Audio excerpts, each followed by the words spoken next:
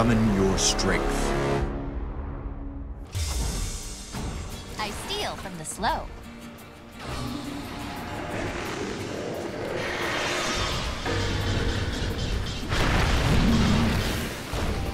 Come get healed.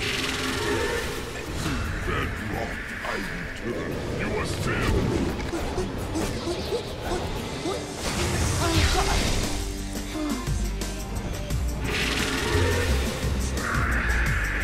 Radiant's bottom tower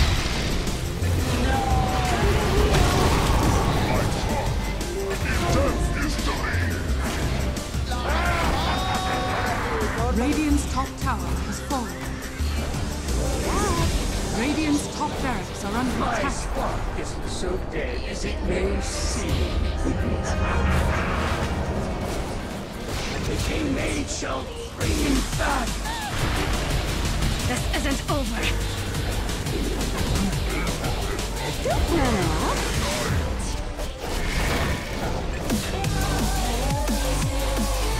Top lane. We Hoster.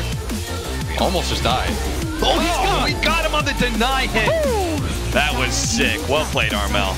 Lycan's gonna come in from behind. They're gonna go for the kill on Armel. This is massive. If they can actually get this kill with a frostbite, all these damage instances, they're gonna take away the refraction really quickly in Armel. So it's getting surely low. get a good die, and maybe the Lycan there we stun. the oh, Dark Will actually stuns everybody.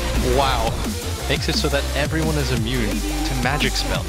Magic, of course, being a very big part of Dota 2. I would, oh, I would hate it so much. HFN does manage to get off his ultimate, but the damage comes too fast.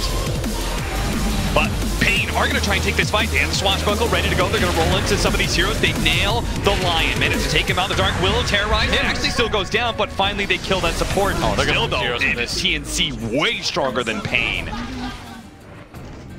The But thing maybe is- with the help of King RD, Dire's middle tower is under attack. we are going to be able to catch King RD in the Brambles, leaving him for Armel. The Frostbite slows down that damage a little bit, but finally the last two shots come in to be able to finish him off. They Over get towards damage. the uh, Pango, he has already hit the Enchanter, slowed things down for Weehawk to get in position. Might be able to kill a second core, but now the Hex comes in, disable, oh, and boy. all the physical and magical damage thrown his way. That's two dead on the side of Pain Gaming.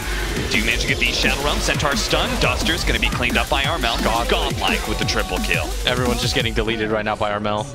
Massive rotations down the bottom lane. Why? Because Tims has caught the Ursa. Now, he used the enrage to be able to get rid of the stun, but can't really get away from Tims. He's now going to be slowed down by Sam H. Terrorized, feared up, running out of that tree area is going to be caught. Now, Pain pushed forward in mid lane, but they're still going to try and make a play in mid as well. They're going to blow up HFN. Armel has so much damage. They strike in both the bottom lane and the mid lane.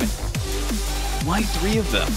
Smoke up, staying on the high ground. Tims gonna be able to spawn out some of these heroes, and the Shadow Realm's gonna be able to buy him. And King RD is already dead. Armel jumps in with his BKB. BKB. We're gonna see. He's gonna go for the Lycan. Lycan's gonna try and go for the back line. Look at that. Eul Scepter. They actually do manage to finish up the Lycan. Has a swashbuckle over the side, blink himself away from Armel. On the right hand side It's Tims actually killing the Ursa.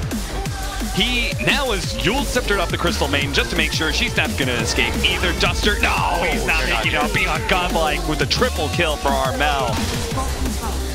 Bottom tower has. Weehaw positioning himself, but going to make the jump first. He's already killed Duster. Controlled up with the frostbite, but Pain, no, they can't really commit the freezing field. Maybe he can kill Armel by himself, gets pushed away. Actually, that gives some more opportunity to kill him, and he does manage to take away that Aegis. Meanwhile, double damage on Weehaw, but he is just controlled up constantly. Disconnect from HFN. GG is called, and Pain will end up losing game two. TNC make it go 1-1.